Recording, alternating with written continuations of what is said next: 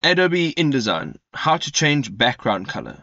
Good day folks and welcome to the channel. Today I'm going to show you a few ways as to how you can change the background color on your canvas in Adobe InDesign. So let us jump straight in. The first thing we want to do is go over to the left hand side and you will find that there is a rectangular tool over here. So we can right click it and you can pretty much use any shape that you want to, but because your canvas is in a rectangular shape or a square shape, we want to use that rectangular tool. So we're going to click on that.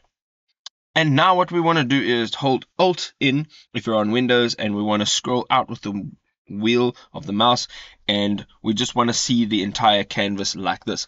So the first way we're going to do this is to actually change the background color. We're actually going to fill the actual background with a color. So we're going to go ahead and you're going to start outside of your canvas. You're going to click down and you're going to open up a shape over your canvas. Now, while this is selected on the right hand side, you'll see that there is a toolbar that's in there and under properties, you can go down to appearance and once you're in appearance, you can click on fill. Now, currently it says that it is not filled. So literally it is just an outline of the shape.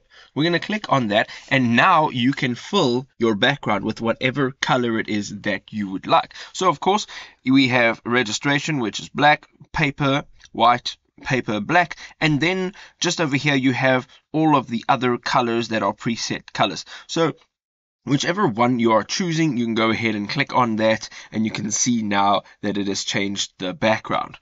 Up on the top over here, there are a few other options. There are swatches, which we'll get into a little bit later. We have solid color and then we have gradient. So if we're clicking on gradient, you can now change the type of gradient. So it'll be linear or radial. And then you can also change if you're applying it to the frame or to the text.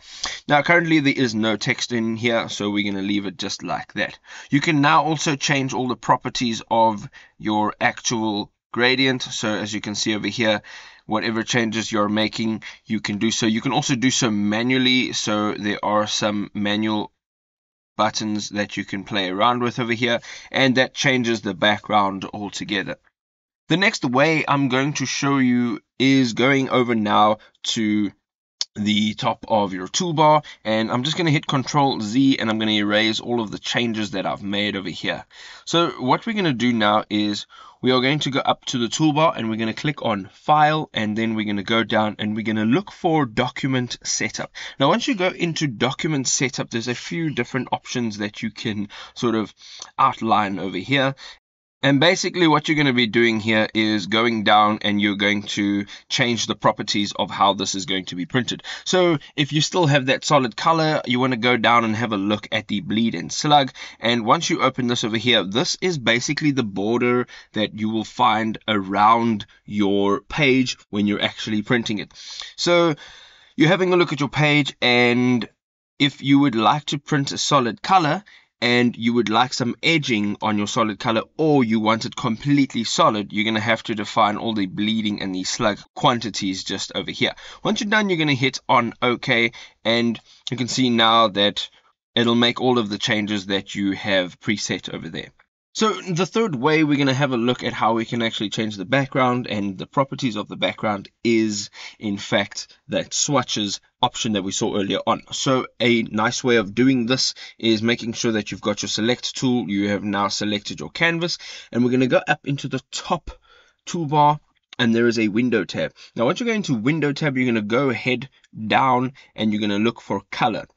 Now this over here will allow you to change again your color, your gradient, and your swatches.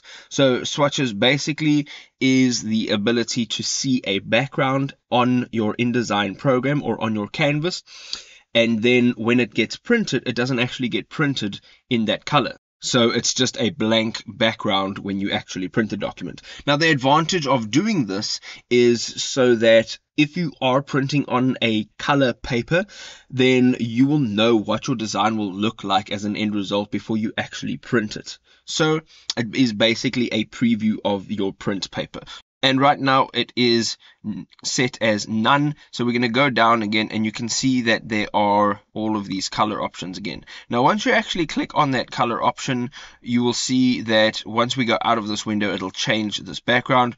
But if you're double clicking on that color option you can see now that you can actually define that color a little bit more. You can change the way the actual color looks and you can also change the color type. So you can change it from process to spot. And then also you can change the color mode over here. So if you want to get into that you can go ahead. You can also click on the preview. So as you are making changes you will actually see what it looks like over here. And we can now click OK. And once you are out of this window this will actually be in the color that you are setting it as but when you print it, it will not print in the color. So this is a great way for you to preview your designs before you actually have it printed on a color paper. There we go, folks. If you're looking to change the background in Adobe InDesign, this is a perfect way to do it. Hope you enjoyed this video. If you did, don't forget to drop us a like. Don't forget to smash up that subscribe button, and we'll see you in another video. Cheers for now, folks.